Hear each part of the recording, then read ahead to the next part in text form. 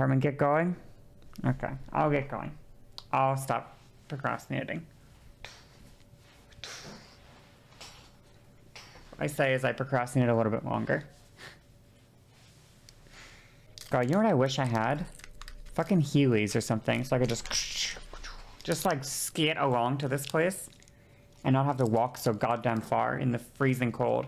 It's so cold, and I have to walk. 17 minute walk. Why?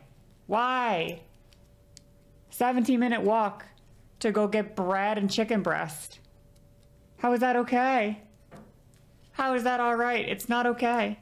And have a good night, everyone. Uh, wish me luck with food. Hopefully the grocery store is open by the time I get there. Goodbye.